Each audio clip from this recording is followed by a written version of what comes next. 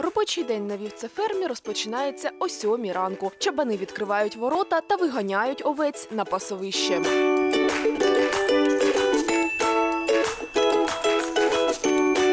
У цій отарі понад 500 голів. Всі вони однієї породи, розповідає господар ферми Олег Шилов. У нас е, курдючний напрямок. е, е, Він дві породи на даний час об'єднує. Це гісарська порода і дельбаївська порода. Кожен рік ми придбаємо нових баранів племінних для оновлення крові. Завдяки цьому на фермі з'являються маленькі ягнята. До двохмісячного віку ми тримаємо е, ягнят е, в приміщенні ферми е, разом з вівцематками. Потім вони об'єднуються е, в такі е, групи, е, де е, вони вчаться поводитися в великому колективі.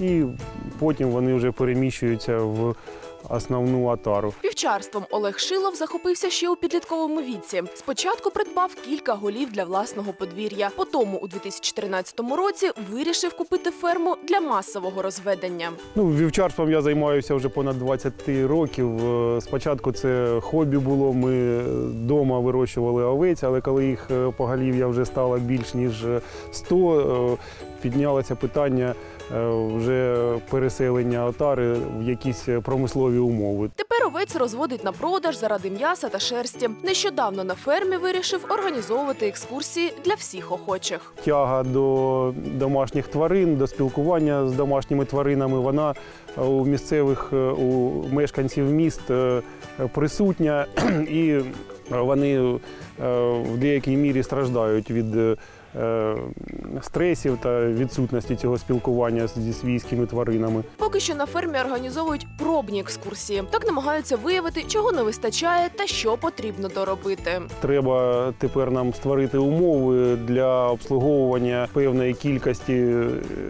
екскурсантів. З самого початку е, розвивали ферму за е, такими високими критеріями. Тобто, е, якщо ми робили якісь реконструкції, то робили це якісно.